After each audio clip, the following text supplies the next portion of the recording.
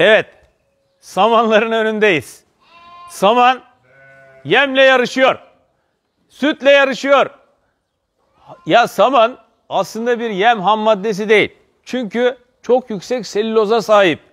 Hayvanları sadece tok tutar. Verim verme özelliği neredeyse hiç yok ama besicilerimiz, hayvancılık yapan işletmeler sürekli saman peşindeler ve saman dolu olduğu zaman onların da moralleri yüksek oluyor.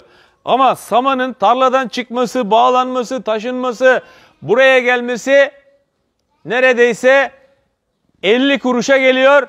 Başka illere gönderildiği zaman yani kamyonun üzerine, tırın üzerine bindiği zaman 1 lirayı geçiyor. Yem neredeyse 3 lira. E yem kaynağı olmamasına rağmen saman 1 lira ve kuraklıktan dolayı daha da artacak. Değil mi arkadaşlar? Evet. Evet. Evet artacak. Bu bezelye balyaları daha pahalı sanırım buğdaya göre. Ee, 35 lira 40 lira. Evet. Bezelye biraz daha yüksek besin değerine sahip. Bu bile yüksek. Yani tarlalar ekilmezse, alanlar boş kalırsa maalesef saman fiyatları da artar. Kuraklık olursa, verim düşük olursa, buğday, arpa boy yapmazsa saman da olmaz. Evet.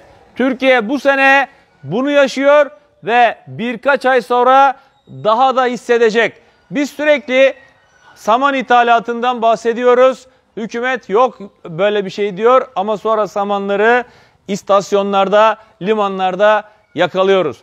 Bunun temel nedeni iyi bir tarım politikası, tutarlı, planlı bir tarım politikası uygulanmamasından geliyor.